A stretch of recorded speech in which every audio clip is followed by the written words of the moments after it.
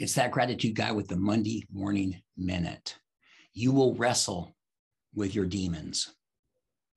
As we navigate our lives through the countless ups and downs, I sometimes think we can judge our success by how we deal with the tough situations we encounter. There will be demons that you encounter along the way. How you handle those demons will determine a lot about the success you may or may not have. Demons come in all shapes and sizes. Some are mere inconveniences, and others have the ability to seriously alter your life's course. If you are prepared to wrestle with those demons, you will be better equipped to defeat them.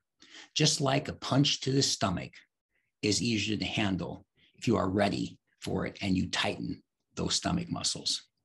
When you embrace the power of a gratitude mindset and a gratitude practice, you will be assisted by getting a better ad- attitude to tackle your challenges.